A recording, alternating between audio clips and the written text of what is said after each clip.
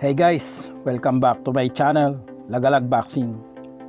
Bago tayo pumunta sa highlights ng labanang ito, ay pag-usapan natin kung sino ang boksingerong ito at bakit siya tinawag na The Chosen One. Si The Chosen One ay may real name na Edgar Luis Berlanga Jr. na ipinanganak noong May 17, 1997 at isang Puerto Rican American boxer at may edad na 24 at isang orthodox. May total fights na 17, 17 wins, 16 knockout at 0 loss. At ang maganda rito, ang lahat ng kanyang laban ay natatapos sa unang round. Kaya nga karapat dapat na bansagan siyang the chosen one. Marahil ngayon ay alam nyo na kung bakit ito ang kanyang bansag. Kaya pumunta na tayo sa highlights ng labanang ito. Noong October 17, 2020 ay napalaban siya kay Lanil Belos. Natalo niya ito via technical knockout. At ang sumunod na laban naman niya ay kay Ulysses Sierra na taga San Diego, California. Pero bago pa man sila nagkaharap ay galing din sa masaklap na pagkatalo si Ulysses sa kamay naman ni Vladimir Shishkin. Natalo siya rito via unanimous decision.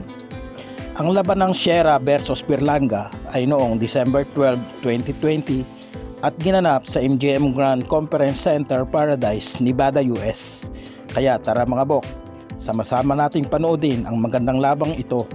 Pero kung bago ka pa lang napadaan sa munting channel na ito nila Galag, ay huwag mo namang kalimutan. Subscribe, like, comment, at paklik din ang aking notification bell para naman mag-update ka pa rin sa mga video na gagawin pa nila Galag He's looking Box. for that right hand is Berlanga. Left hook came in 30 seconds in.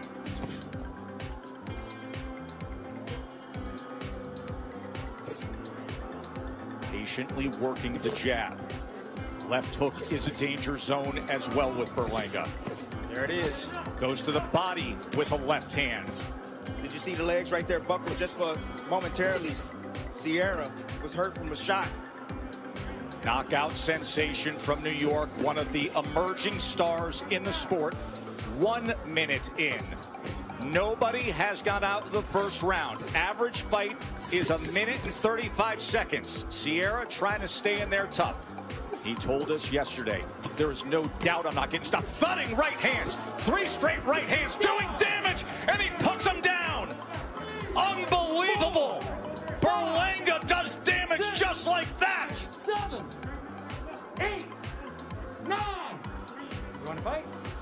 Sierra is damaged. He has just under 90 seconds to keep the streak alive. Here comes Berlanga. Thudding right hand. Combination punching. Steps to him. Wraps around with the right. Trying to get rid of him.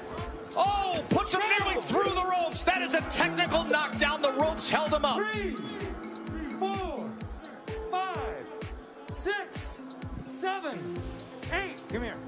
You want to fight? Good. Can he get through 55 more seconds? Oh, wide sweeping right hand, well off the mark. He wanted the grand slam right there. Digs underneath, uppercut, right hand up top. Berlanga charging in again, looking to keep the streak alive. Go stop. That's all. Sierra just over half a minute to try to survive, to be the first one to get out of the first round against Berlanga. Berlanga stalking with that sweeping right hand. Now being patient for a moment. He's down again. It's over. He did it. The streak continues 16 for 16. Going here. He's coming around the guard. He got a guy that has the earmuffs on, coming around the guard, hit him high on the head, right around on the ear, that caused this first knockdown. But then he just he comes behind the jab, and now he's throwing a little hard because he knows he has Ulysses hurt. But the placement of the shots, he's landing the shots in the right place. This is a veteran guy, been in a lot of lot of training camp, my camp for one, and he's able to get this kind of reaction from this guy.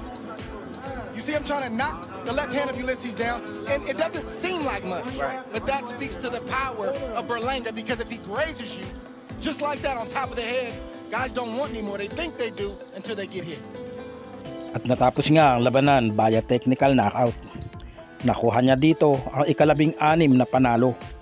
Nitong April 24, 2021 ay nakuha naman niya ang ikalabing pitong panalo via unanimous decision laban naman kay Demond Nicholson. Marami pong salamat sa inyong pag-aabala at panunood sa bidyong ito.